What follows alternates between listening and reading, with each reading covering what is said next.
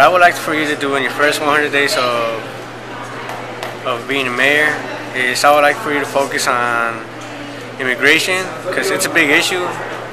Um, there's a lot of immigrants in the area. Chicago is one of the most um, populated areas with Hispanics and immigrants from all around the world. And I think that's a they feel some of most of them feel pretty unsafe around um, be, around around other people because they they fear that they might get um, deported because they're because of their legal status. And another thing with the students is that um, they, they won't be able to attend college like that, and they don't get the same opportunity to go, um, get scholarships and attend to a, a, good college. Another issue is getting a license.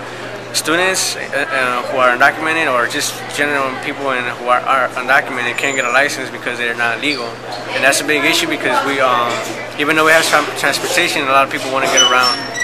So, thank you.